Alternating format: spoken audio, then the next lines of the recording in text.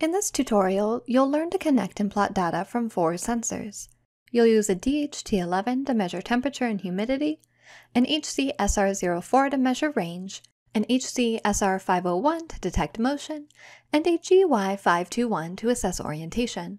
Get started by hooking a DHT11 into the breadboard. Before wiring the sensor, power the breadboard rails with the Arduino 5V supply. When you connect the sensor, be sure to check the labels. Connect the positive terminal to the 5V rail, the negative to ground, and the out or S pin to any of the Arduino digital pins. Writing code to interpret sensor readings from scratch isn't necessary. You can use a third-party library instead. Search the Library Manager for a DHT sensor library. Before selecting a library, click More Info to visit the repository where the library is stored. Once there, look for examples. These will show you how to use the library. Examples can also help you to identify if a library is right for your current skill level. This one looks good. Go ahead and install the DHT sensor library. First include the library header so you can use the library's classes and functions. Use a macro to define the sensor pin and an instance of the DHT class from the DHT library. In order to send sensor information from the Arduino to your desktop, you need to open a serial port and set the data rate. Set the baud rate to 9600 bits per second. Start the sensor with a call to dht.begin. You can graph data received from the Arduino on your PC using the serial plotter. The serial.print and serial.println commands write text and numeric data to the serial port as ASCII text. The first line printed to the serial port determines the legend on the plot, so let's add some descriptive names using serial.println. In the loop function, start by waiting for a tenth of a second. This ensures that sensor readings are taken and communicated at regular intervals. Then take temperature and humidity readings from the DHT object.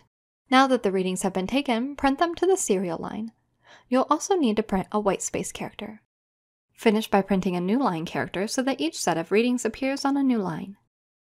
Now upload the code to the Arduino and open the serial monitor. Set the baud rate to 9600 to match the data rate set in the code. Check that your legend is printed on the first line and each sensor reading shows in a new line below. Now that your data is streaming, close the serial monitor and open the serial plotter to graph the data. Verify your sensor readings with a test. Most Arduino sensor breakouts have a similar setup, so adding additional sensors is easy. Let's add an HC-SR04 ultrasonic range detector. Orient the sensor so that it is free from obstructions.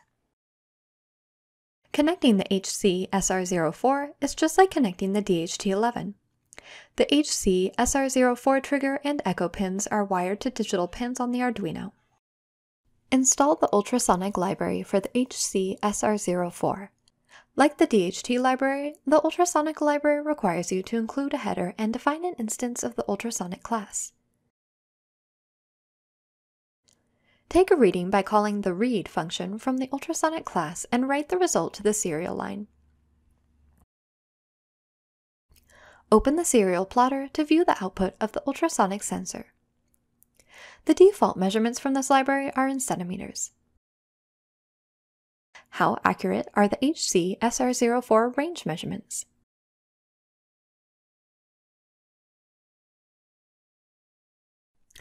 Wire the HC SR501 motion detector using the same pattern you used to wire the DHT11. The motion detector is so simple it doesn't need a library. Simply define the pin, set it to input mode, and call the digital read function. When motion is detected, the sensor will send a 1 to the pin, otherwise it will send 0. Add an entry to the legend and print to the serial line to complete the sensor's code. The SR501 has a built-in delay between motion detections. You can adjust the delay using the screws on the side of the sensor.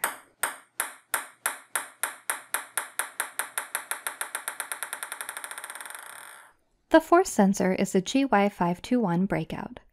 This sensor uses I2C communication, so wire the serial data and serial clock pins to the same pins on the Arduino. These pins are labeled SDA and SCL on both devices.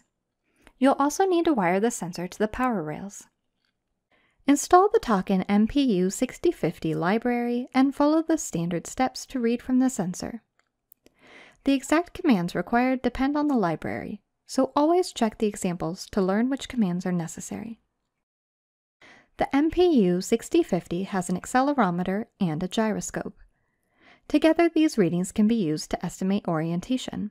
Use the get angle commands to compute the sensor's orientation. Test the sensor by rotating it in various directions. If you're interested in learning more about Arduino, subscribe to the CurioRes channel.